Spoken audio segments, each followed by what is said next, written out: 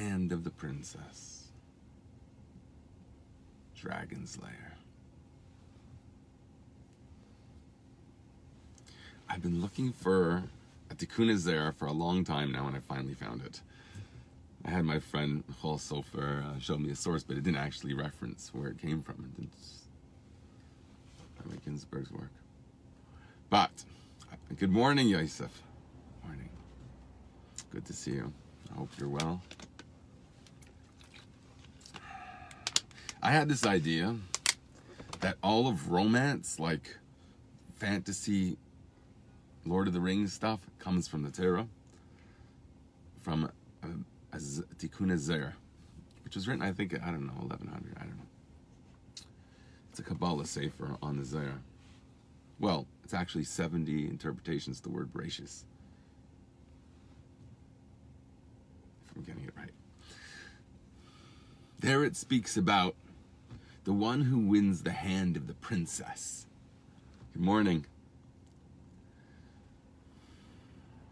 How do you. David Melech won the hand of the king's daughter through his valor in facing the enemy.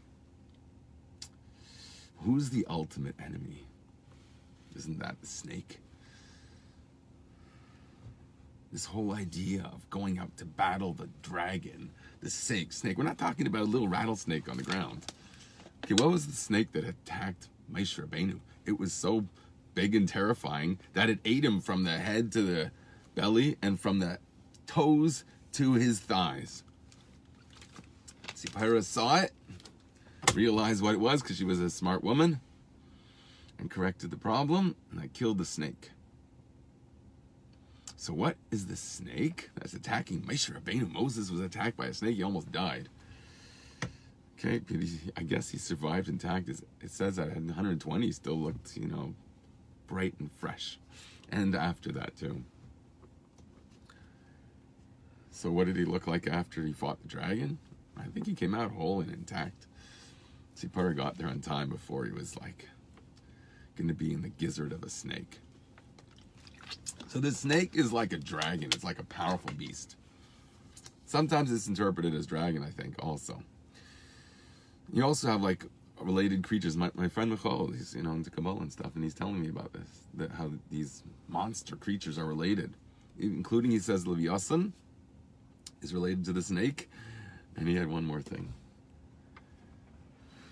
The uh, the um, the crocodile, I think of Pare. I don't know. Everything's related, right? if you relate too many things, it starts to. You got to find the common element. And that's that's what it, it does in the Talmud. Good morning. Wishing you a wonderful day and a lovely Shabbos. Thank you.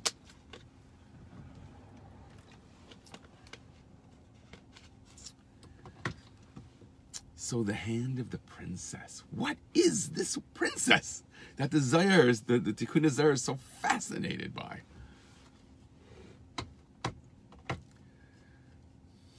I'm fascinated by this. It had a long introduction about Sukkot, so I thought that's also topical. I didn't get really the. I'm gonna have to learn this on the fly with you, but I think it's gonna be worth it because I think this is an awesome topic. But I hope we get to the main thing: is what is this heroism in attacking the ultimate enemy, the snake. If you kill the snake, you get the king's daughter's hand in marriage. I guess you get the rest of her too. Probably it's like a package deal.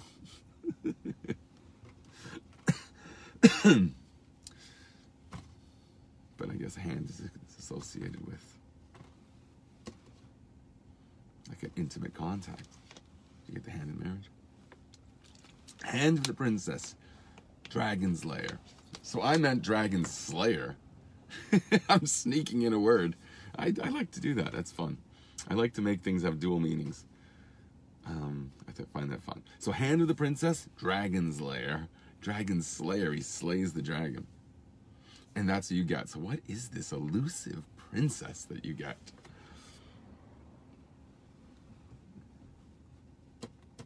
I peeked. I, I, th I think I know what they're getting at. How is everyone today? If you don't interrupt me, I'm going to say more, more poetry. I wrote like, what, four haikus this morning. I like strings of haikus because each idea resonates on the other ones. They might have nothing connected. Like I'm, I'm gonna trick you in the final two. I'm gonna give you an idea that you're supposed to have in mind, but I don't have the words to do it, so I just refer back to the previous one. Okay. Anyways, I'm self-aggrandizing my, you know, that's what's the point of that. Temple of Flame, candelabras.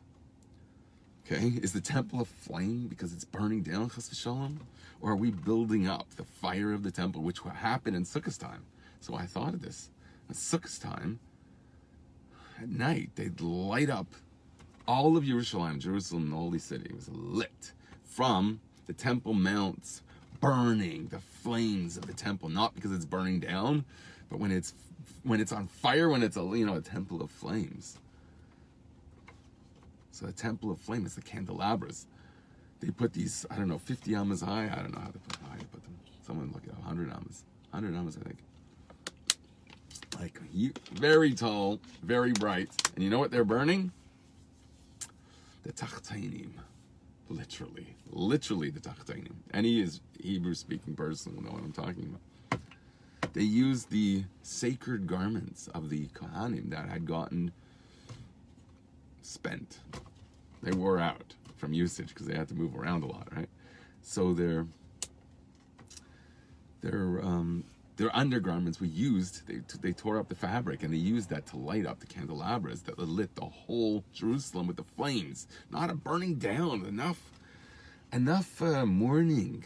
We have to have a morning dew and morning star lighting us up flames after so the candelabras it says were so bright that in the surrounding courtyards you could like distinguish between things in your grain or whatever like sifting through your grain because you could see the different colors because the light was so bright.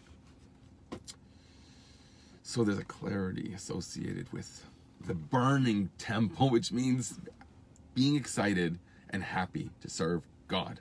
Okay? That means being a good person if you don't like that. In other words, that's how you could interpret it. Be a good person. That light is not the light of destruction. It's not the flames of, of a temple burning down, It's the flames of lighting up the not just the temple, but the entire surrounding area and the whole world got lit up from that. Moonbeams, darkness appears as darkness. Good morning. So I like the word moonbeams because it's also a verb. It's just not it's not just a noun. It's a ha- it's something happening. So what does it beam? It beams darkness. Why? When you're in, when you see the moonbeams and it's night, then darkness appears. There's a you see darkness. How do you see it? Because you see it as darkness. So the moon beams the darkness in a sense. It's like a verb.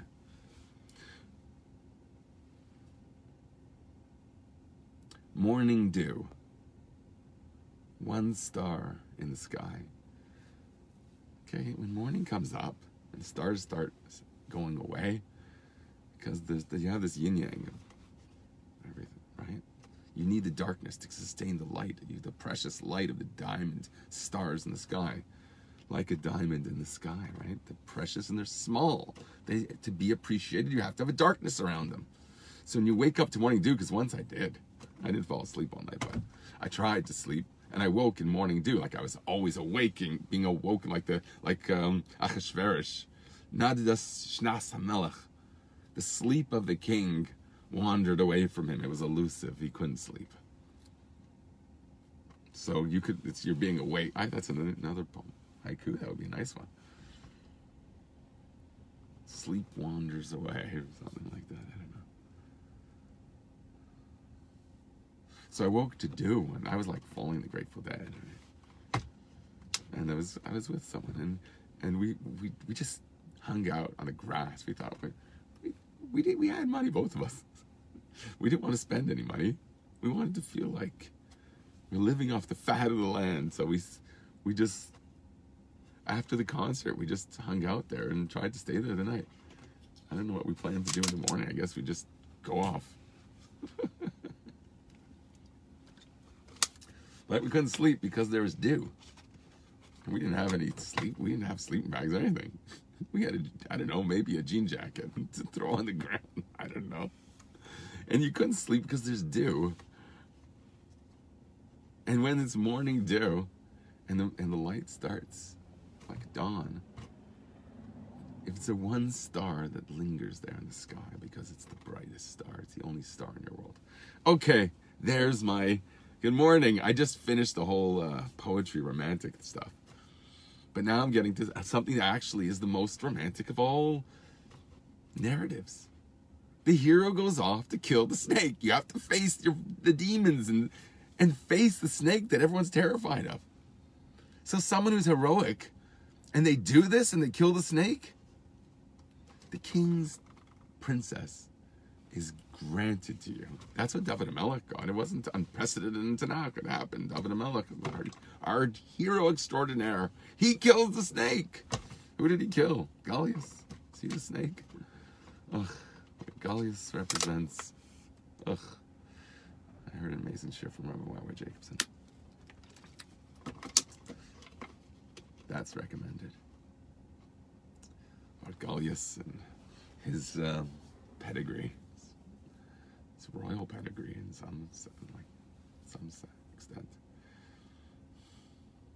So I'm gonna go try and go through a very complicated Tikkunei Zohar. I'm gonna stumble and fumble, but we'll have fun. okay, when you're kids, you're running through the ravine, and yeah, I had a ravine in my backyard.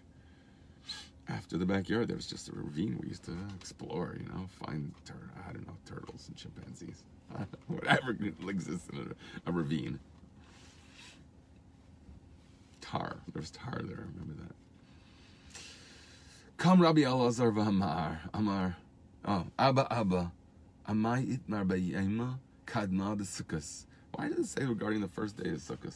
L'kachtem lechem b'yema rishon. On the first day of Sukkot, take for you a priyetz hadar. It says in the Vayikra. Chav Gimel Gimel. It says, take for you a very beautiful fruit from a tree. It goes on, you take with your right hand and represents victory. Masal the Malko.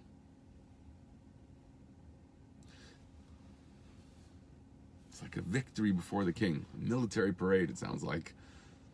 Okay, I'm going to skip around. It says, oh, interestingly, it says, what does the esrog represent? Priyet hadar da esrog. That's the esrog, the e shchinta.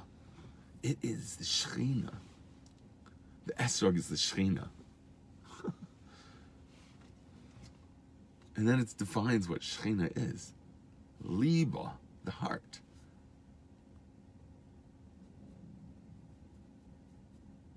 ikra dekol evar. It is the main organ of the entire body. The whole avrin, avarvarn, sorry, avaran de gufa. The tlas hadasim there are three hadassim, the lulav esrei vade arava, and there's one lulav, and the two willow branches. They're all parts of the body, and they, you know, it becomes very relevant to you if you relate to being your emotional life. That's your heart, and it's also the understanding of ideas. Libod be'emtza isa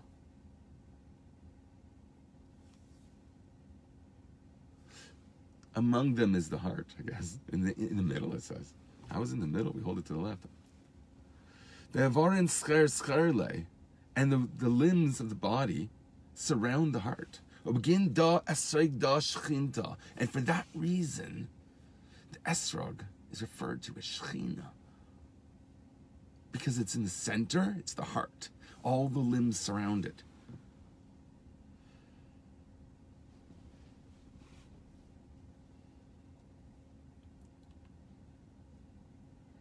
The heart, what your what drives you.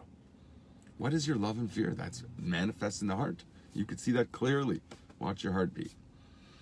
I don't know for sure if it affects your thinking. Well, it must do. but anyways, that part of your thinking is associated with the heart. The heart is the source of that experience. So what drives you? That's the Shekhinah, that's the Esrog.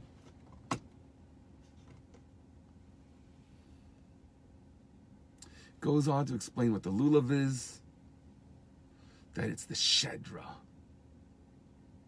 shidra. It's the spine. The raza de lulav, tzadik katamar yifrach.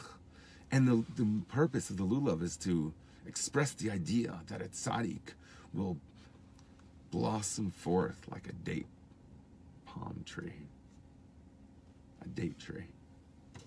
Dal iu kikel v'shemayim v'aretz v'shmay v'shmay v'ara.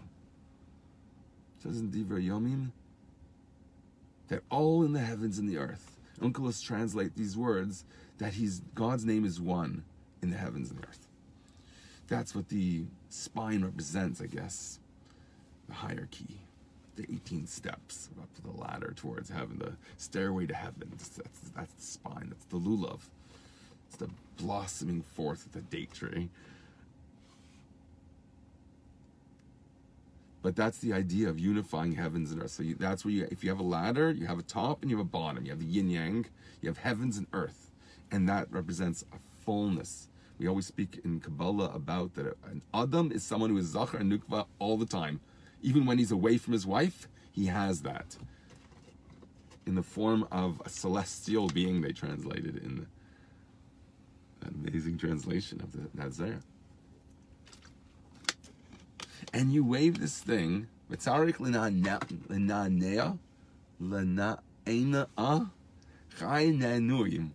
to shake it 18 times.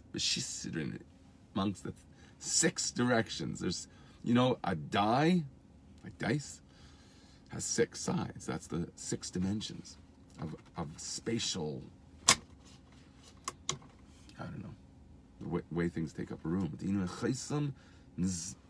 Mizrach Bayud Vav.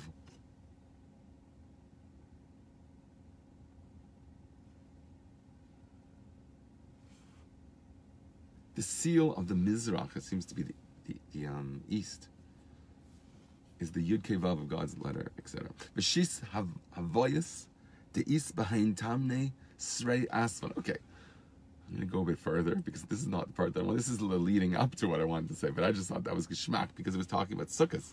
And getting ready for sukkahs is really incredible, but also gives this idea of what Shekhinah is. It's the, the center, all the, the organs surround it. That's Shekhinah. What's the center? What drives you? What animates your whole being, all the limbs around you? That's the heart of you. That's what you fear and what you love. The two forces that drive you. Then it speaks about how we put the lulavs around the Mizbeach, the altar in the base of Mikdash. You would stand them erect. Ulaman the gun, this natu elaine netiin bay. It's like you're planting a garden. The Raz Demila, the Nekeva to save a Gaver. There's a pasuk in Yirmiyah, there's a verse in Jeremiah. It says, the secret of the matter is encompassed in the, the verse that says in, in Yirmiyahu that the, the feminine surrounds the masculine. Nekeva to save a Gaver. So it takes the word Nekeva nun min gan.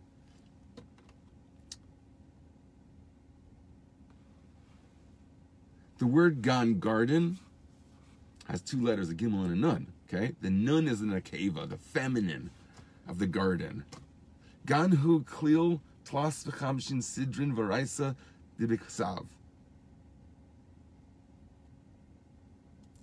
This you get out of V'sheva yemin sukkos. Okay, you get the Torah, and you have the seven days of sukkos. You have 53 parshas in the Torah, 53 plus the seven days of Sukkot come out of nowhere to fill in. You have the 60 to go against the 60 Masechtas. They're corresponding to that. Then it goes on. Okay, it's not enough to go to Sukkot. We got to talk about Shmini Atzeres. Chag b'fnei atzma. It's a special holiday of, unto itself. Bei neviu deraisa. That's where the the Torah bubbles forth from. Neviu. I don't know. Lashkana ilana. Yes, it pours forth to water the tree, the iu netua bagan, which is planted in a garden. Okay, these are beautiful words. This is what you're celebrating in Shemini Atzeres. Now, shouldn't you know what it's all about? You're celebrating the planting of the Torah and watering it in the garden. So there's this whole thing about water and sukkahs. That's what he was talking about before in the celebration of the of the libation of the water on the altar. The only time of the year you do it. The rest of the time, it's just wine when you Wine is is, is bina, the heart. It's all related to that. But here, there's something higher than, than that. There's water, which has no taste. You can't understand. It's beyond your ability to appreciate. It's just beyond, ah, transcendent, fundamental. So it starts. You start the whole year with the joy of celebrating water, where you don't take. Usually, you take joy with wine. That's what, he, what gives you joy, rather. So you celebrate and you drink wine. Why are we celebrating water? But it's the pleasure of something beyond understanding. That's pleasure associated with water. It's chokhmah, okay? It actually talks about three drops that come from the mind. Okay, it gets really, really geschmack. We get that far, I know I'm going slow. But it's early. I, I came to you early. so we can learn together. I don't know. So it's not a polished year. Big deal. Enjoy it. Enjoy it with me. This guy, kick back and just things are happening in the world. We have Sukkot coming up. You're supposed to start learning about Sukkot 30 days before the, the holiday, right? What are we at, the 15th yet? Oh, we're getting there. We're cheating a bit.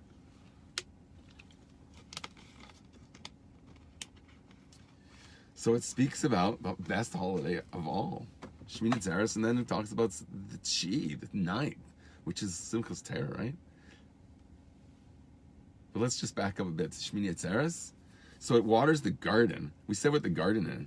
We said what at least it represents the surrounding Nekeva to save of Gother. That's a garden, the surrounding. Being surrounded, being encompassed within. Okay, you can figure out what, what the imagery here is. But it's a garden where there's a tree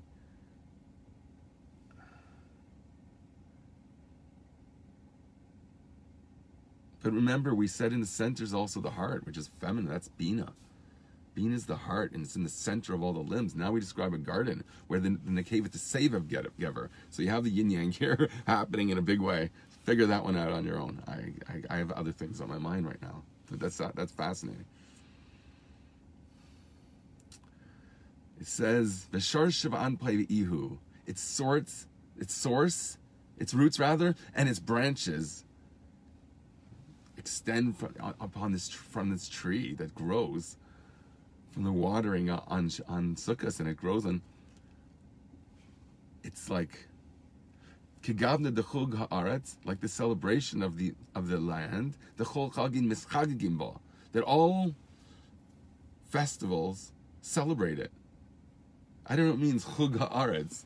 The celebration of the land is. I think it means the yomim tovim go around the whole harvest thing and like I didn't know what how that, that whole thing works. You plant, you you, you got to know this stuff. Okay, you can't understand Torah without it. Good morning in whatever language that is, Pakistani. So the eighth is the holiday of holidays, but there's something higher. There's the ninth, Berina. That's the song. This is expressed in the verse in Tehillim. It says, the tzaddikim sing, or they just are led, they're so happy that they're led to sing because in their experience of Hashem, Hashem. The. This is the level of a tzaddik who is 18 worlds. Mitaman rina. From there comes song. Uve porkana. And that song is a salvation. There, within these 18 worlds, is salvation. That's for the right for the righteous. That's what the righteous celebrate. That's the ninth day. That's Simchas Torah. How do who diksiv tzemach tzadik? I love the word tzemach. Sport sprout forth a tzadik. Yirmiyahu. Umitachtav yitzmak. A pasuk in Zechariah. It says, and beneath him will sprout forth mitachtav vaday. It means literally beneath him. And that who is beneath him? The tenth of everything. The tzaddik natil mismala and the tzaddik takes the, the, the tenth of everything. I think it's referring to the esrog because we take the esrog in our left hand. We place the esrog in the middle. Mimina, with the right hand. I guess the right hand's holding the middle is the lulav. We put them together, sort of. I mean, we put it to the left, so. I, I don't know exactly how they're, maybe the middle, the center of the, the width-wise, the thing, but not facing you. I don't know. That could be from a different angle. It's right in the middle. Then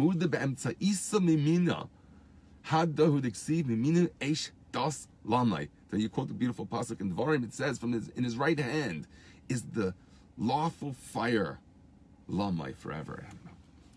The lawful fire, which is the Aish of Terror, the fire of terror, which was black fire on white fire. That's the fire of the Torah. We spoke about fire in the temple. That's the celebration of uh, of Sukkot, is the candelabras that lit up the sky with their underwear. With the tachtainim, the tachtainim were illuminated. The dirba tachtainim in literal sense. Okay, that, Rabbi Wagner just darshan this. I didn't even make it up. Great drush. He heard it from someone. I don't remember the fast someone, someone big.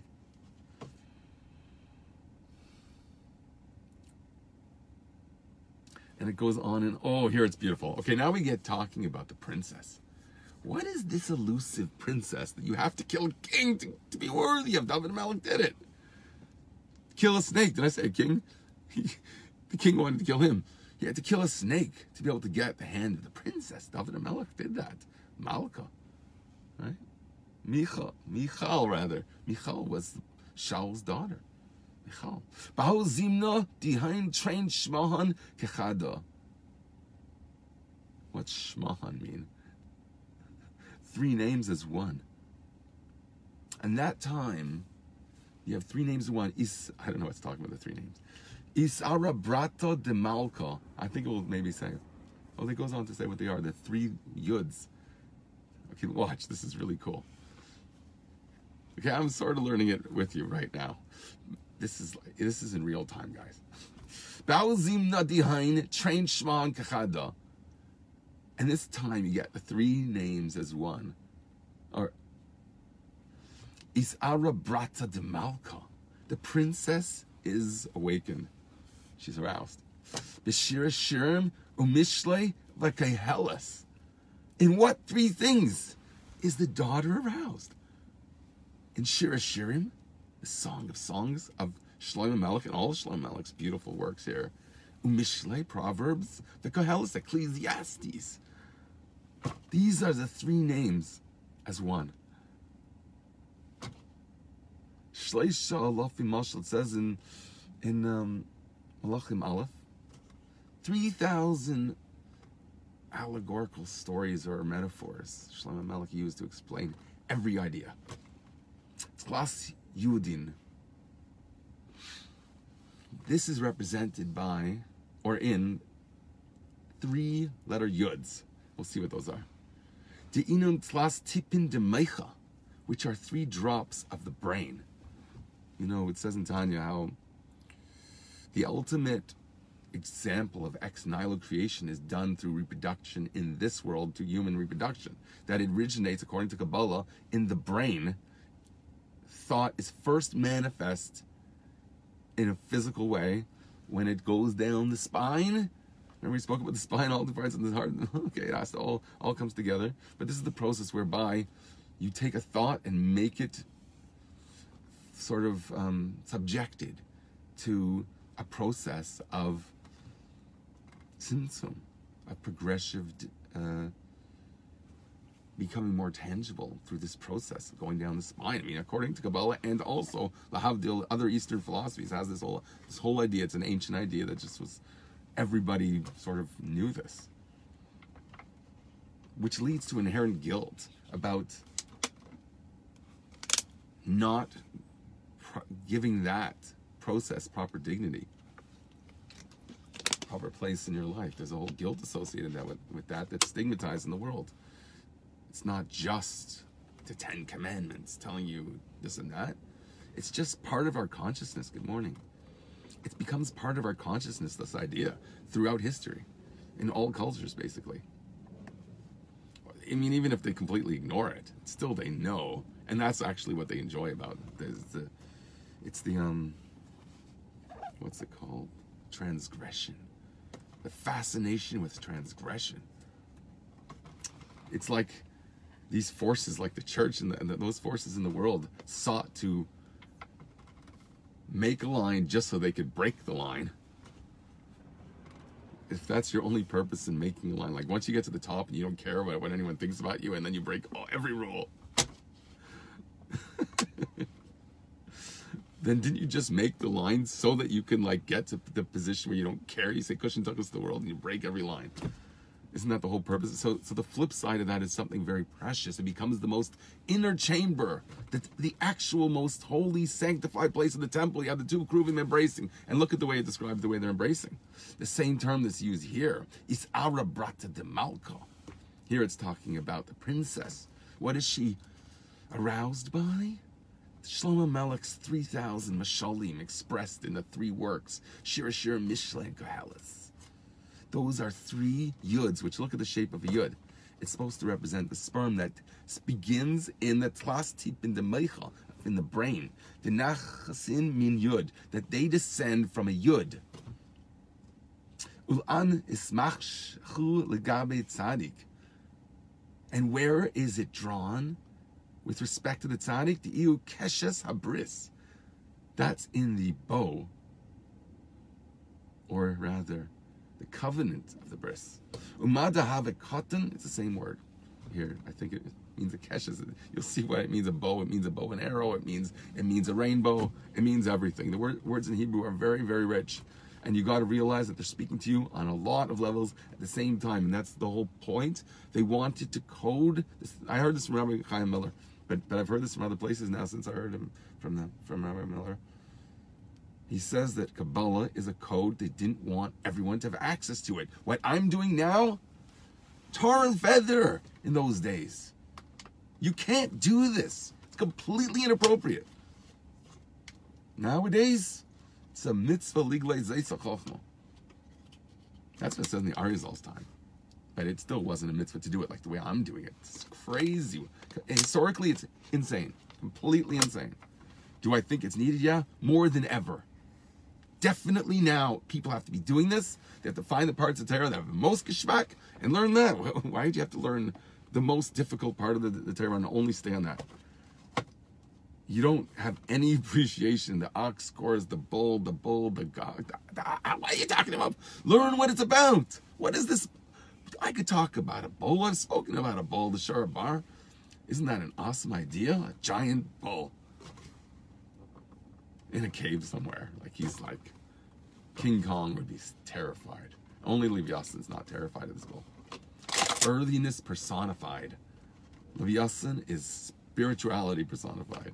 And they slug it up. They slug it out. They slug it out. They fight. They have a gladiator fight to amuse the tzaddikim. Okay, whatever. That, is an awesome topic, and I just I can't just touch on that. But I'm talking about even something that I've been searching for this for a long time. I mean, David Melech went out there, conquered, killed the snake, got the princess bride. So what arouses this princess? Okay, because we're, we're just we're really this is before we even mentioned that killing the, the snake. I didn't even get to that yet. I'm, it's the next part. I'm, I'm almost there. Okay, so I'm just having fun on the journey because it's a journey. She it's Ara Brata de Malka. I love how the word Brata has the word brat in in it. They have to be related.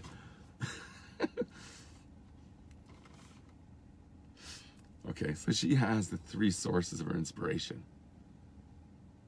The princess, what is she into? She's not into just weaving, because weaving is like the feminine thing. It's entirely okay. Don't get me started. I got to this whole thing through the concept of a weave and through post, postmodern philosophy, and I spoke, speak about that imagery a lot. Ichuya Alexandria. It's brought, uh, what does it mean? Ichuya Alexandria, the weave of fabrics that to bind something things so you don't see there was ever any difference between them. It's a total union. That's the Chaisikala, the weave, the Alexandrian weave, the type of bond. That's a sister. The word he in Hebrew for his sister is achat, achat, achais, right? We say, achaisi kala. My sister, my bride. How can you associate anything bridal with your sister? But if you're very close to someone, you see them as your sister. But also the idea of sister chesed, who the Rabbi Warren Jacobson has an amazing share on that. Chesed, who? Why does it say the word chesed? It's a kindness. You can't do it because it's a kindness. It's a chesed. It's awesome. You have to look that up. I can't do it now. So the yud represents the seminal point, the shape of it even. And where does it go? It goes to the tzaddik diu keshes habris, the covenant of the bow. Umada havikatan is avigodol. And there's this process of becoming what's small gets large. You interpret that. I don't know what's talking about. The Raza de Mila Shafar. The secret of the Mila, or the secret, I don't know if it means the matter. Mila, the word mean, Mila means the matter. You don't refer to the male organ in Hebrew. We have Lashon Kaddish. There is no word. The Holy Tongue does not have a word for the male and female reproductive organs. It doesn't have a word for it. The, the, the Torah has to deal with this because they have to speak about it in terms of Hilchas, Hilchas Nida, has to describe the whole thing in, in great detail. They have to talk about anatomy. And they don't have any words for anything. So they give a muscle of the walking into a, okay, look up their muscle. It's, it's fascinating. Because there's no words. The Holy Tongue does not have words for these things. There's something holy about Yiddishkeit, even from the language. The, the, the kumas is, is a an ornament that princesses would wear, let's say, that was a golden ornament that would say Kan Makum Zima. Look that up, what that means. Kumas. Go, and they dedicated to this, is the base of English.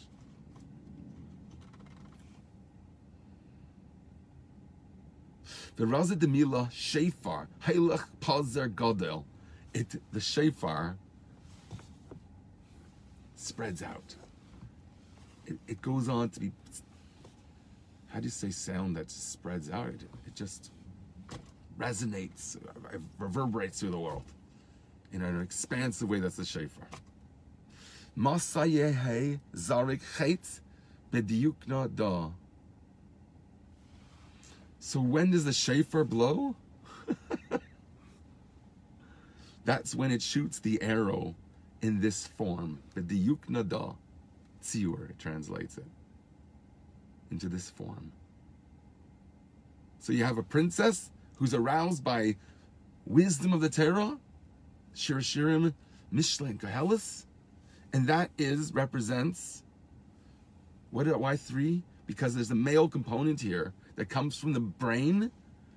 That's and there's a whole process where it has its symptom, it becomes more magushim, it becomes more physical, goes through the spine.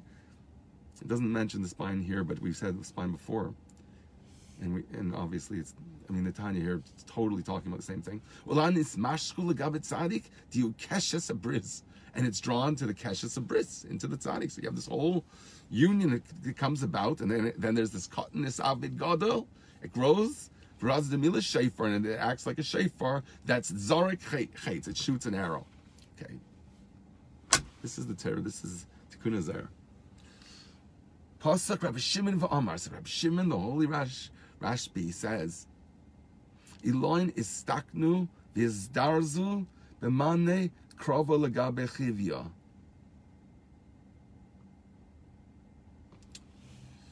The supernal realms are, were corrected, are corrected. I don't know v'izdarzu, what that means. B'mane krova legabe chivya. Those who approach the snake. So I guess you're corrected. There's a heroic act of approaching the snake that you correct everything with. That this snake nestles in great mountains. Or in ravravin, I don't know if it means many or great. I think it means many. Vi'u kadma. And this is what killed the first man this snake that nestles in a mountainous terrain killed the first man. Darin, Dahavli, Abasre, and all the forthcoming generations of Ginda, and on account of this snake that killed the first man and harmed all of the generations to follow. There is a voice that echoes out from heaven every single day, urging you to go out and kill this beast, this monster, this killer, this psychopathic killer. You're to go out and face your darkest, deepest fears. There's a clarity in the moonbeams. Darkness appears as darkness. There's a clarity in recognizing where is this snake? He's in these mountains, these things that you look up to. Those things that you look up to, the dark mountains. In other places in Kabbalah, it speaks about the dark mountains. Here it says these many multitudinous mountains. I think it's going to say that they're large also later.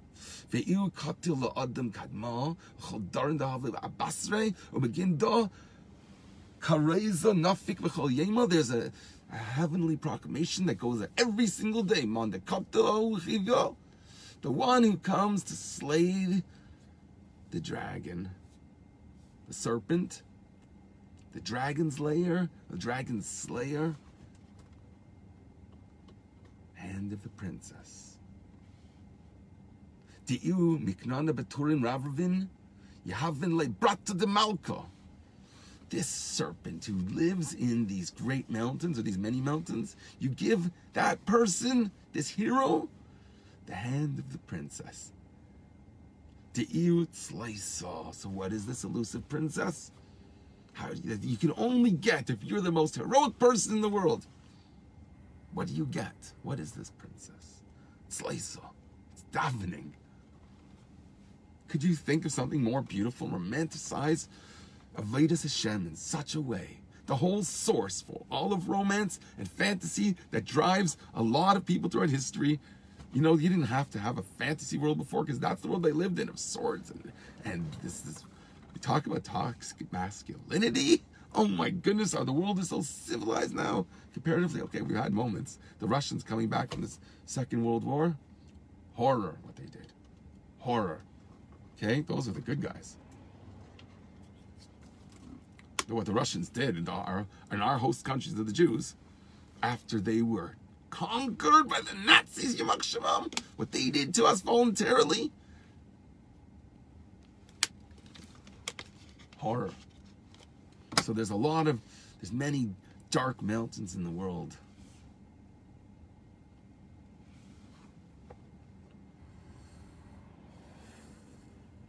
So to encourage you to go out and slay the darkness, the embodiment of the darkness, because the only thing, the darkness is not going to harm you.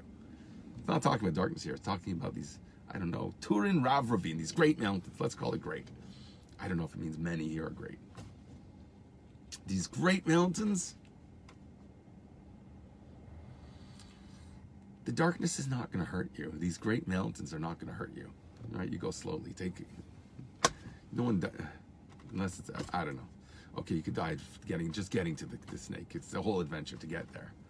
You have to be brave enough to even go through the this these great mountains to get to the same. What do you get when you get to the top? Finally, you're there. You're facing this primordial creature that, that killed the Mauritians, and now you're gonna come stop it you can tell me the Brata de Malk all you want, I'm gonna think of her as a, you know what, the Brata de I'm not gonna say no way, forget it. She's probably not very well. She's not very, probably not very refined. Maybe she's uh, arrogant being the princess. I, am not gonna go there. I don't. I'm terrified. In other words, the Iyut But what is this thing that you're terrified of? In Avodas Hashem, what's it talking about? The Tikkunei Zohar tells us. It's davening. You're afraid to face yourself. You're afraid to say, What do I care about? That comes from God. I love you, God. That's what tefillah is. Just think about all the things you care about, whatever it is. I care about, I don't know, I care about sitting on a lawn chair and basking in the radiance of the glow, of the glory of whatever. Fill in the blank. Whatever you like to, okay, so you like to be the guy that's setting the lawn chairs up. You like to be very proactive. You like to manage the, the whatever it is, whatever your thing is whatever rules your life, whatever is the um, focus, the focal point of the heart of your life, the center of all the, the limbs is the heart, the esrog, it's the. Whatever is your shechina, that's available through the idea of what a princess is, which is prayer. So how so? Think about all things that are precious to you and say, where does that come from? That's another way of saying I believe there's a creator. Everyone believes that, right? Not that stupid to think that this is just some cosmic accident. Like my watch came together as an accident. And as if this is as complicated as the molecules like that make up the watch. Come on. That's it's it's a silly idea. You have to get into the whole idea of like parallel universes to say that one of them is real. You have to really stretch your imagination to say that it's just a fluke. There's all these parallel universes that wouldn't have humanity or consciousness, and in this one where everything went right perfectly, there was the evolution of consciousness. And therefore, you don't need to say that there was something before the Big Bang. You don't need to say creator. But once you say that there's a creator, it's very easy to translate those things that are precious to you the diamonds in the sky, the princess's hand in marriage, the Shekhinah. It's easily to translate that Shekhinah. I asked this kid, Are you allowed to worship the Shekhinah? He says, Yeah, that's why we dive into the east. The Mizrach is mentioned here. Right? I don't know in that context. It's probably the way because in, in the times of the Beis HaMikdash, east represented where the God, so to speak, faces out towards the east, and it's like the sun coming up and bowing down before God.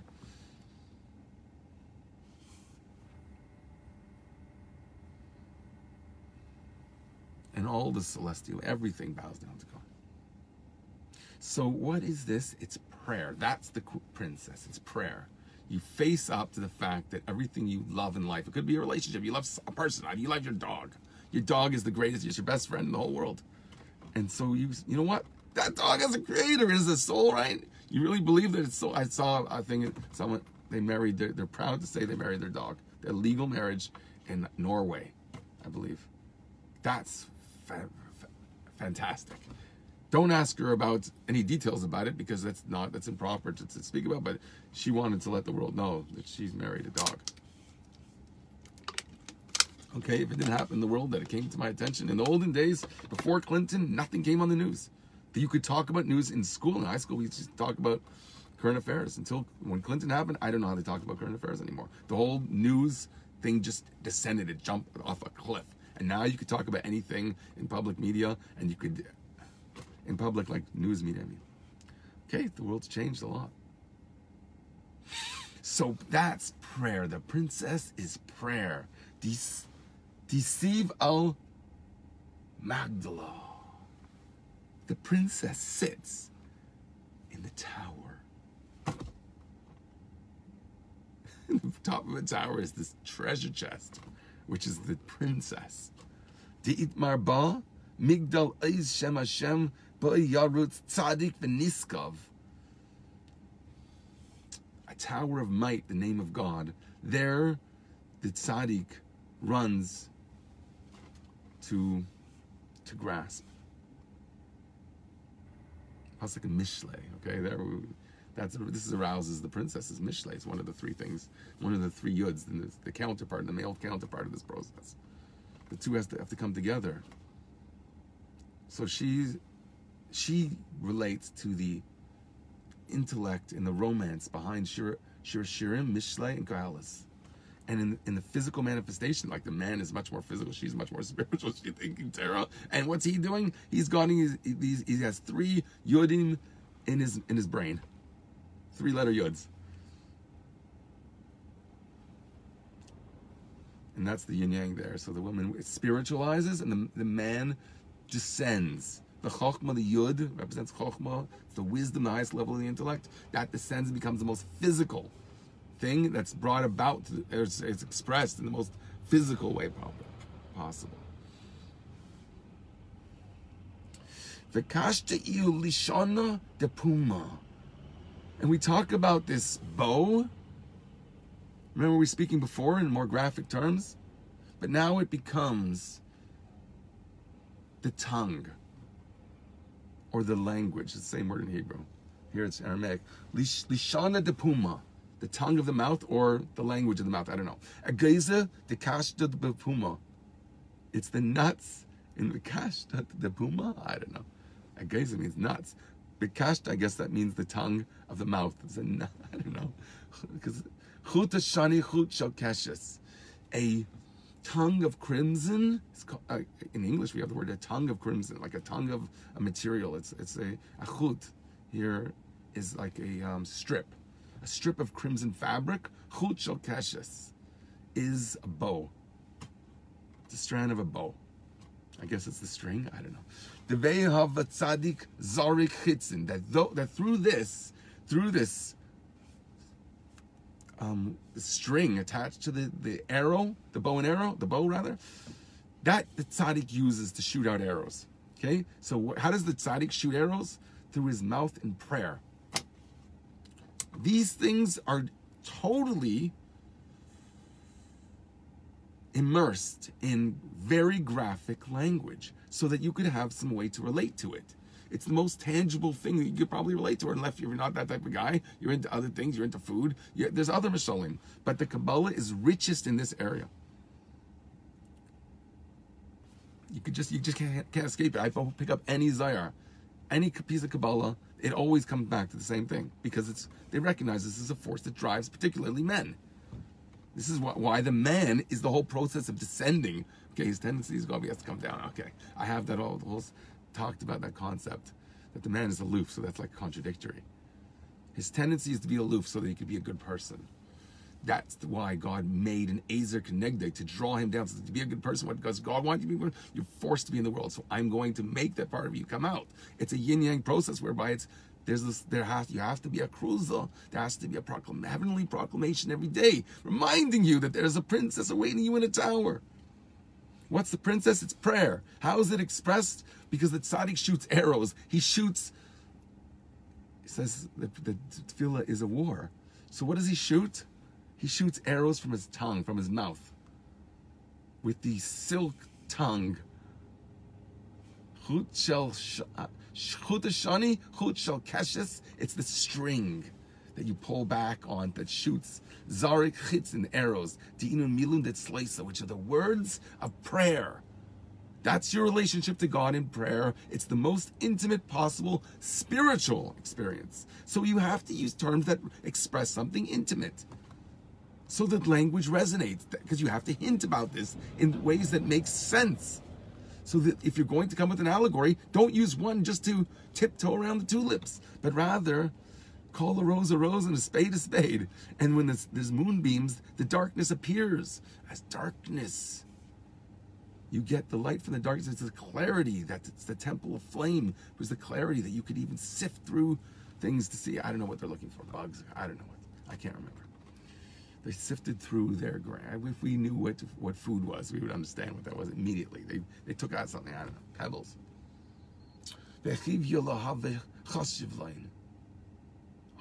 Beautiful. Oh, so he shoots arrows. Where does he shoot the arrows? He doesn't slay the he, the dragon slayer. The dragon slayer that he approaches, the dragon slayer does not use a sword. He uses arrows to kill the, the serpent. I never knew that. The Behav Tzadik Zara Chitzin de Inun Milulin Lagabechivya. He shoots arrows at the snake. He doesn't even have to go the darkness of the mountains, maybe. He shoots from afar. Moshe Rabbeinu climbed the mountain in what? I think one step, he went up the whole mountain. So you can like, and the whole idea of an arrow is that you could shoot far away. So that's, I mean, it's expressed that in my Marm and Kislev. The inun milin that slices legab chivya. The chivya lehav chashiv line. I think it means he's not afraid of this, the serpent. V'la begin chalisha the tzadik chayalmin, ela begin chalisha de hao the zarik line de iu tzadik lesatamine. Kad lav iu shlim, begin da loy chashiv line. V'chivya leichava have a chashiv line. I think it means he doesn't care that he's being shot arrows at. The love begin the chalisha the tzaddik chayomin.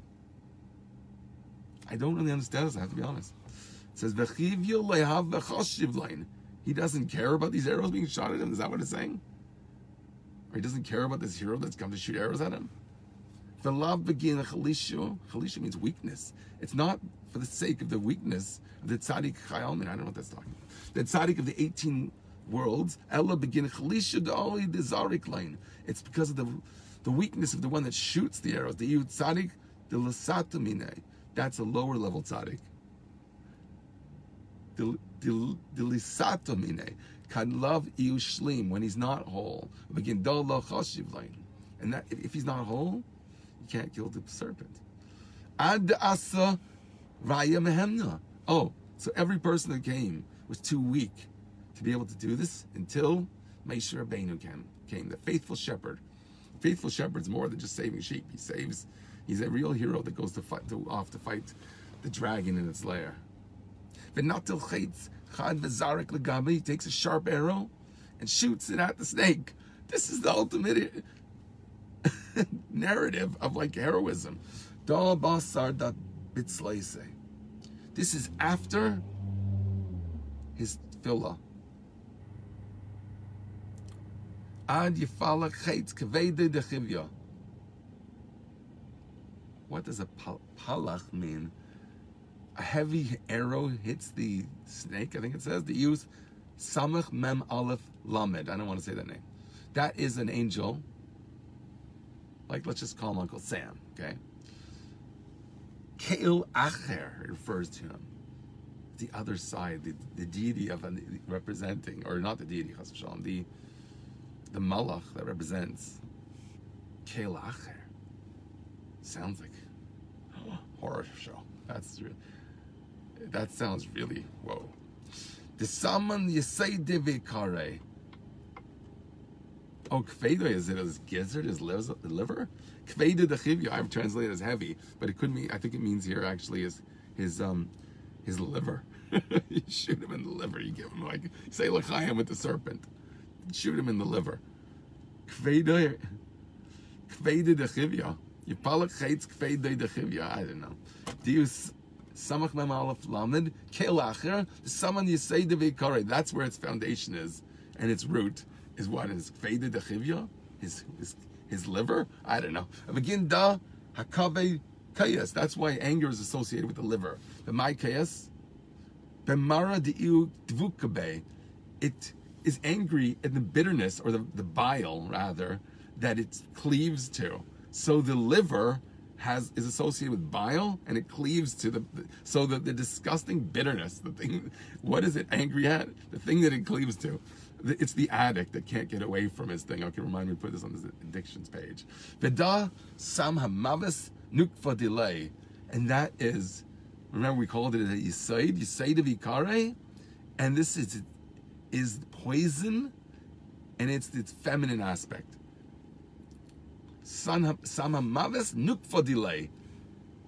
Znava delay yeseres akaved.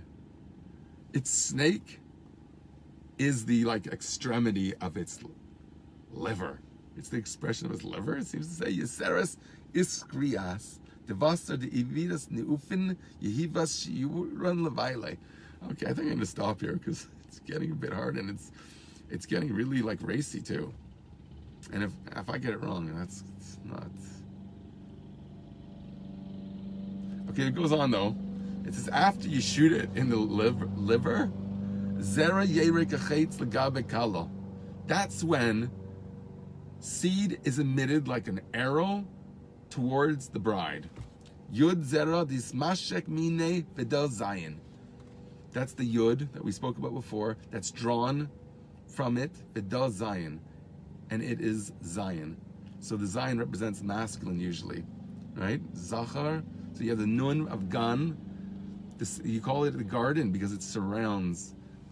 I think that the garden was surrounded the, the center, which is the, where the the, the um, tree of life was, right? In the center of the garden. So then the arrow shoots towards the bride. Yud zera dismashik minevedah Zion. The Zion represents this whole process. You see, Vit marba speaks about the letter zayin. L'shalach li lematara v'dav vas ayin. Base kibul kibul lezera diu Zion vadai. V'dav vas ayin. Base kibul lezera diu Zion vadai. My matara da yerach ben yaimai. It's a one day moon. Sirah Kadisha, the holy sanctified moon. You sanctify the moon in the beginning of the month. Matari iu vadel vasayin. Nakuda zirurum gavd. It's beautiful. It seems to be talking about moonbeams. Vasayin. That's the pupil of the eye. I don't know. I'm going to stop here because I'm not. I think you get the point where this is going. It goes on and on. You got a snake, you got a tail. I translated Kveda as liver, where the bile is associated with the liver, I think, right? Mara, Marashchara is bile. So it's angry because it's cleaving to the bile, the bitterness of the world. People that are stuck in toxic um, mindsets and toxic relationships and toxic environments. Like it could be a workplace. It could be. You got to shut up those voices.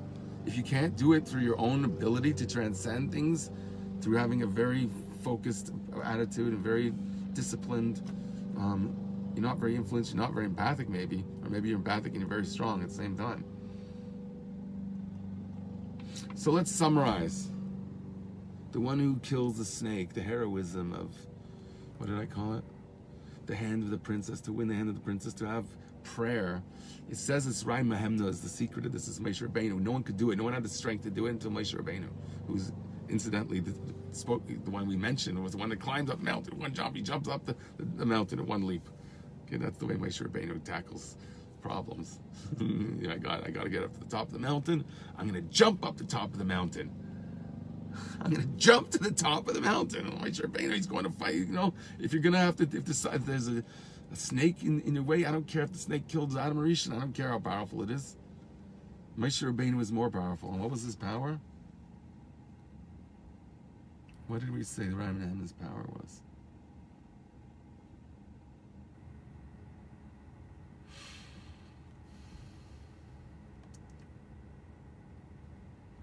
Okay, I can't find that right now. But the important thing here is that we're empowered by this bas kol. The whole point of a bas kol, of a voice echoing out from the heavens, of an echoing sound, a, resonation from heaven. In other words, that we have see clarity in our life. It's the moonbeams.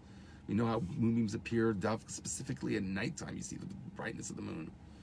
Darkness appears as darkness. You could say, this is dark, this is light. You have clarity. It's the the temple of flame with the candelabras leads lends itself to clarity. So if you have the clarity, you could. Uh, uh, it gives the person strength. The, the heavenly voices is intended as a means to tap into an energy. It's a strength. It's the Eliyahu Navi that makes you desire Mashiach. We spoke about it at length. It's the the voice that's saying there is a prize here. There is the power to do succeed in, in davening. I, yes, I'm going to succeed. I'm going to actually succeed in davening, and that is the hand of the princess. That is a connection to God. Oh, here's about Raaya Mehemna. I'm going to interrupt the channel for an important sponsor from Moshe Rabbeinu. Raaya Mehemna, that is a faithful shepherd. Not the He takes a sharp arrow here it has the word chad, it's sharp. And he sends it towards the thing. He, maybe it knows the secret. Until it pierces the liver of the snake, which is its feminine side. So you have this, there's a counterpart of intimacy whereby it's an expression of love, but here's an expression of violence towards the evil. So just like you have an attraction towards the positive, you have to have that much power and dis- despising the evil, to face the evil, to identify it, to have the clarity to identify the evil, to know what things that are evil and toxic are, and not be afraid to go there, to go up to the mountain, to do it in one leap, like a, a hero, the real hero of all heroes, like Moshe Rabbeinu, the, the faithful shepherd, is not afraid, and he goes there, and he has a secret. He's got a sharp arrow, and he knows where to hit, the, the, where the, the opposite of the, the, the goodness of it. You know, he knows the target, the bullseye, is the flip side of that. The poison of the nukva delay is expressed as anger, which is addiction to mara, to bitterness. You're angry at yourself by that you're too stuck in bitterness and dark things, things that you know are bad for you. It's an addiction. So you're angry at yourself or you're angry at others. You express you might take it out on others. Here the, the snake is not a good guy, he's a killer. Killed Adam Rishon. So angry. Right? So embittered with his addiction, so he takes it out on others. And that's the expression of the feminine negative aspect of nukva, the yisaid. I think it's talking it's the saman yisaid of ikare. It's it's foundation and its root. The ikran relates it to its navadile, it's there, it's a covet. To it, it's it's the car, it's the root. It's I actually was shaky. You have the you have the this this disgusting imagery of expressed in what's that square bob square pants square whatever his name is that disgusting cartoon that I don't let my kids watch because it's completely inappropriate in terms of their phallic representation. But here, the Zohar, the Tikkunei Zohar says, "Znava delay yiseres covet." Its snake, this phallus, this, is an extension of its covet. It's its anger, the nukva, the yisaid, and the ikar, the root. So you have this image of a root, which is not a feminine image. It's actually masculine, but it's, it's that's the tail. It's expressed. And remember, remember, uh, Vashti had a tail. This is what it was, Mustama. Because uh, how you know what these things mean unless you find you look it up in in Kabbalah.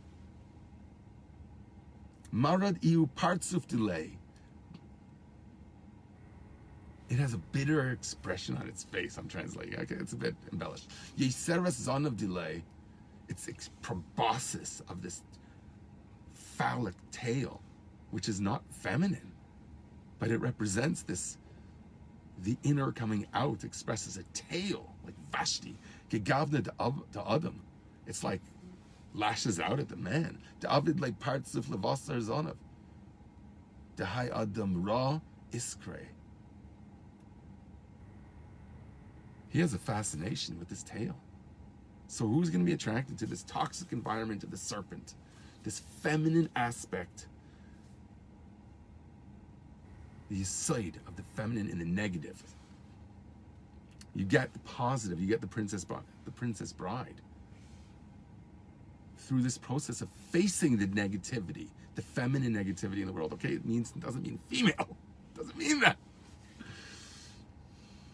It's talking about a, about the bitterness of being addicted to something that's bitter to you. You recognize it as bitter and you can't get away from it. So you lash out at others, you lash out with the tail.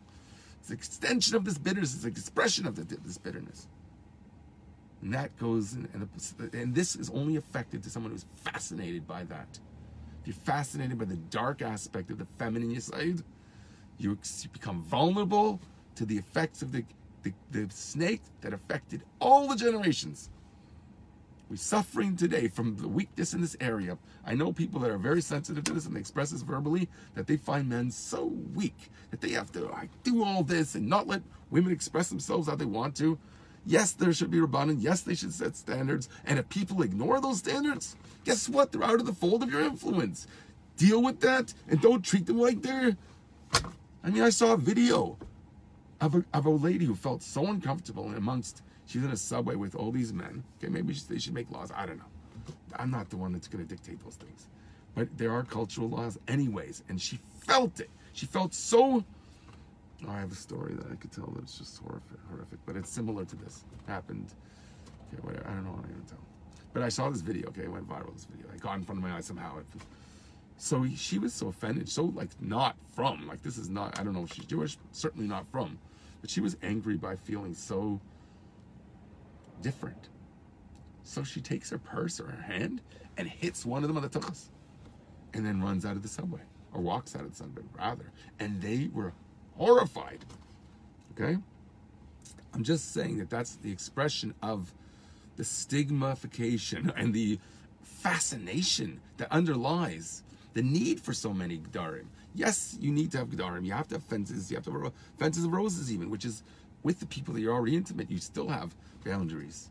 Still have respect for someone's dignity and their and what what's important and what their sensitivities are. And you express them always particularly in these areas when people feel most vulnerable. So but the vulnerability to succumb to this type of darkness where there's an, an addictive toxic personality that lashes out at others with this proboscis of a tail that's only possible if the person's drawn to that. He has a fascination with such things. This beastly representation of femininity. The snake you'd think that that was a masculine, you know, a snake is like, seems like a man. Here we're saying no. The tail of the snake, what defines the snake, really?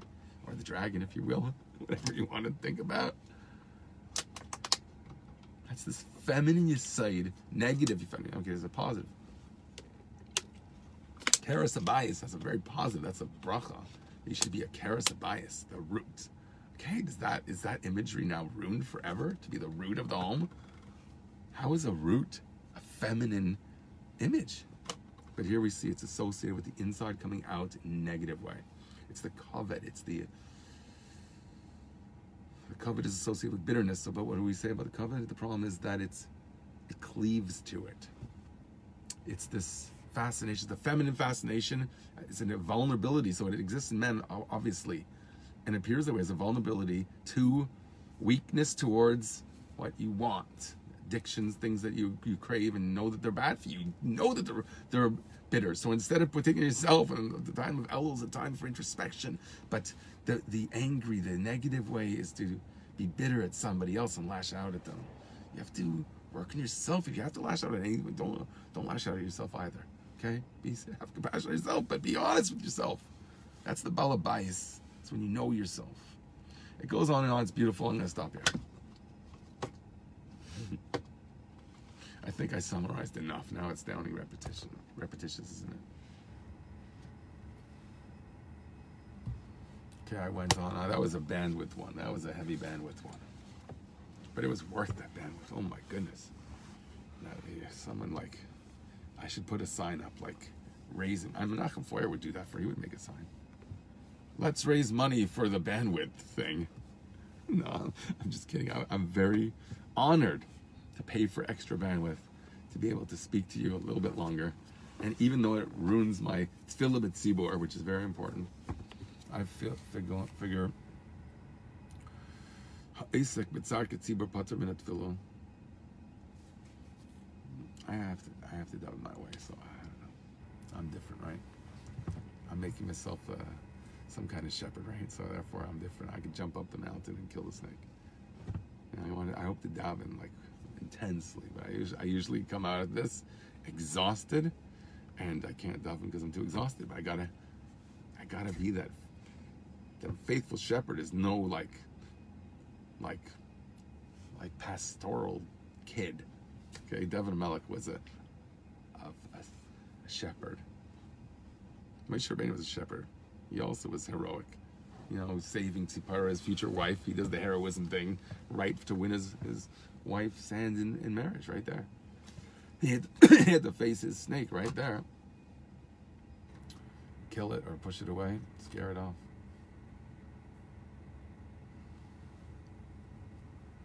They didn't make such a big deal there about saying it's Raaya Mehemna, but, that, but that's that refers to Moshe Rabbeinu. They didn't talk about Moshe Rabbeinu there very much there. The point is, the arrows, what are they? It's the words of tefillah. Okay, so don't. I have a, talk about get your head out of the gutter. I think I did. I addressed that issue a little bit here. Head in the gutter, I think was my header over there. Take take a look about that. You know, because I know that I'm speaking about a lot of racy topics here, and sometimes people point that out, and it's like bugs, bugs them. Okay, so don't watch it. I don't know. I'm making a niche. I think that it's a topic that will resonate with a lot of people, I, and I think that um, you know everyone has their dark phoenix, their diamond, their thing that they're drawn to, and if you could find a whole, I think that this is one area that probably a lot of people have a fascination with. I know because I hear about people having problems in, in areas associated with this yeah, I have no problem, but but I'm, but I but I I know that it's very pervasive, and therefore to not speak about something that's so pervasive is a travesty. So I'm not so meek as to ignore a problem. I'm not so meek to shut up at a Farbrengen when I have something that I have to say. Okay? I'll get herring thrown at me. Okay, I deserve it. You're right. You are right, but it's important to me. It's worth the herring and it's worth to get thrown. I'll accept it with love. I'm not going to be offended. You have your thing. If you control the room, you deserve the room. And therefore, I respect your office. Not even, I respect you as a person. And I respect your office. I'm telling, I'm talking to the future guy who's to kick me out of the next Farbrengen because I'm, I'm trying to make a coup d'etat. Great. Who is this vagabond coming in here? This, this, Sasquatch trying to just jumping on the table. I, I don't jump on the table. I've seen people do it with theatrics to boot, and it's glorious. It's, you know, Rabbi Lipsker, his theatrics so polished. But not because he polished them, just because he's like a very genuine person. Real Chassidim are very genuine. That's how you can really identify. They might not be a tzaddik, they might be a rasha even. But you could be a chassid. You can't be a chassid if you're a rasha. Okay. They could be someone who has a lot of problems, but they're genuine. They, they're very sensitive about their problems. You could be a chassid and be like that. You don't, it's foolish to think that you can't be a chassid until you're a tzaddik. It's foolish. Being a chassid is the most real way that you have a chance of becoming a tzaddik. Okay, people even talk about the whole journey towards being a tzaddik is silly. They don't even like to talk about it. I think that's silly and misses the whole point. Why in the world do you have a heavenly voice telling you about Brata de Malka? Tell me about the princess bride. The, the, I'm giving away the, the greatest lottery in the world. It's not a lottery, actually. It's a challenge. It's a real. You have to face your darkest fear and kill it with arrows. In other words, pouring out your heart to something that you're passionate about. And why are you doing it? What is the inspiration? Brata de Malka. Recognize who you are. Batishkai over who you are. Work with who you are, specifically there. Stay on that. Don't ever leave that until you conquer that. I brought sources from the Rebbe Rashab, Kuntres Avodah. Look it up. This is a real concept. The main things you have fascinations with, for good and for bad, use it for the good, and you just you you became Dark Phoenix. You have all the power in the world. That you just got the you became a partner in creation and beyond that even. Love imi.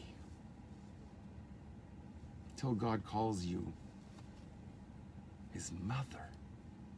It's not a partner-partner relationship.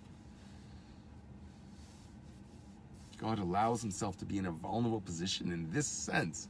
I mean, maybe that's a very unique situation to reach the level of God calling us his mother. Amy, I, I gotta, that's, I'm doing more research on Neder. Okay, it's a topic one day. This is a topic I've been waiting like five months to do, and I finally found the source and finally dealt with it. I, I hope it was in a geschmack way, and I hope you felt like this is a bit of, if you're into Lord of the Rings or that kind of stuff, I hope this would had that kind of excitement to it too, because you're going off to fight a very, the Jabberwocky of all Jabberwockies is, that would be a good heading for this. I, I, I got to do a whole thing on that one day because my father loves that that car, that uh, that um, character. Alice in Wonderland. Okay, have a great day. Have a great Shabbos. And yeah, the whole Ella thing. Everyone, you know, and um, I don't know. We're getting we're getting hyped. We're getting we're getting really. Should I start speaking about tshuva more? I don't know. I like speaking around tshuva. I don't like dealing with Musser directly. I think you talk around things. You you deal with the negative spaces in between, and the, the rest of it just comes more naturally. Like my friend told me, it's like saying to a kid, "Don't look over there. Don't look over there. Don't look over there." Where do you think he's gonna look? It's as if you're pointing him to tell him where to look. It's the it's that snake's tail.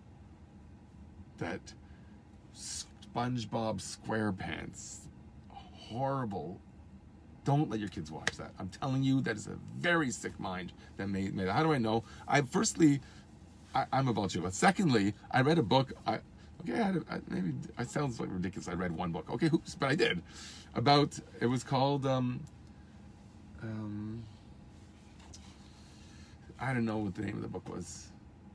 The seduction of media through oh subliminal seduction. That's the name of the book. Look it up. It's an old book but it t- told you and it gave examples of how the very expensive world of marketing plays with your brain and it, it, gave examples and it showed exactly what they're trying to do and then i got i developed a skill i could look at a coca-cola advertisement and show you all the things that an artist did put in there on purpose in order to subliminally affect they did all these studies and they did all this stuff it was popular i don't know maybe it's not popular anymore because i haven't been looking for these things anymore but i used to and um, it's remarkable what what kind of things are going. They show how completely out of place these things are, and how for sure it was done deliberately. and I'm I'm a graphic artist, so I know that there's ways to like put an image within an image, and nobody. They even do this to trace images. If you're stealing work from, you could have like dots encoded in it. You, it's a sophisticated thing, but the mind picks up things that you don't necessarily are conscious, you're not consciously aware of. So there's a subliminal world. So you, you gotta, if you're gonna tie it in, you gotta find out what that is, what's driving you really, work it out at the core and be, don't be like this of the world, conquer the world. Work on it inside, then you let other people put up the fences. You could be the one that respects the fences. You respect even if fences are made of roses. Just respect them. Don't you know, if the culture doesn't let you sit in a certain place, try and deal with it. You want to change it?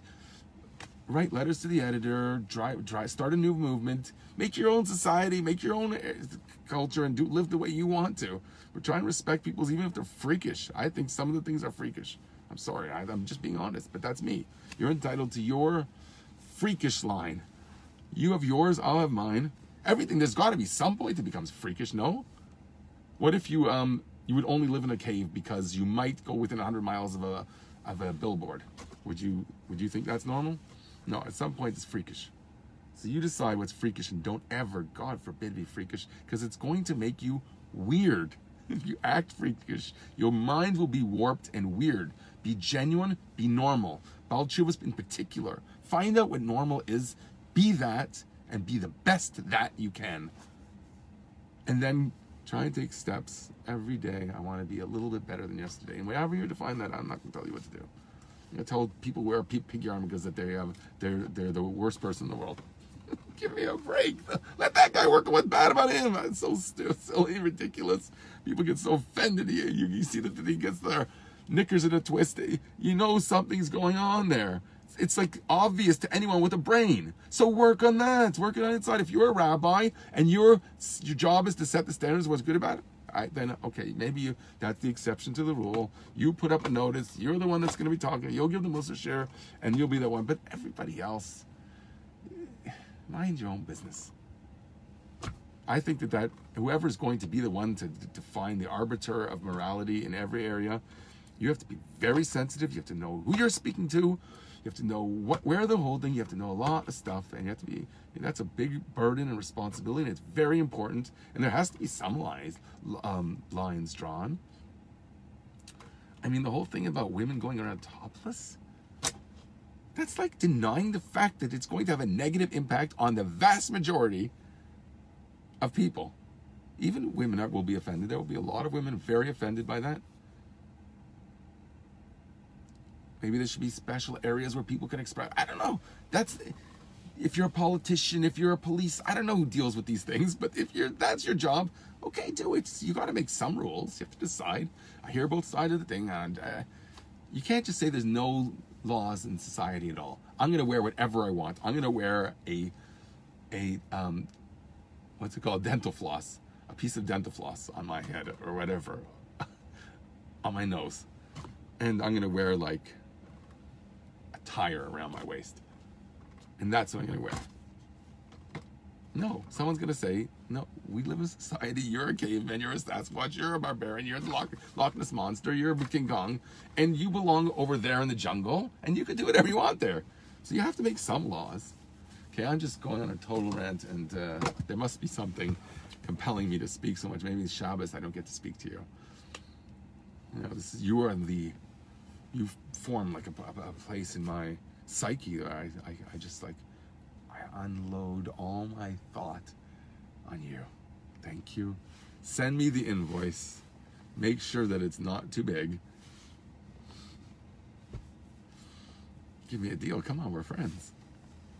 Know. You should want to give your friend more. I think that you do a service for your friend, pay him more. Everyone else is trying to cut corners, like cut out the middleman. Why do I need you? I'll go get a car and like I'll just order it online. What do I need you for? No, give the middleman. Let the middleman make a living. Don't be afraid to play a broker. Don't ask the brokers to uh, suck in their fees. What you you're asking him to beg you not? I mean, come on, it's just like a power trip. These are the richest people that do this. The richest people. Why? Because so what are they doing? They don't need the money. I'm always fascinated why rich people care so much about spending money or maybe someone else is going to benefit from your money. Why are they specifically money shouldn't mean anything. So I think that it's a, it's a way to establish some uh, social advantage underlying it. They might even give in, okay, I'll pay you your commission. But they just establish, you know what? You're a broker, you're a middleman, and I'm an investor. I feel cool, I feel important. And I'm gonna let you know that I want I'm in that position. Because what do they need to do another ten thousand bucks, another fifty thousand bucks to the bottom line? You have tons of money, you'll make a lot of money here. This is what people do. I see it again and again. And yeah, I went on another rant. There's my business ethics 101. Well, it's not 101, it's a specific topic. Okay, so everyone have a good Gebench Shabbos. And I'll see you uh, in Shemaim and Tefillah in five minutes.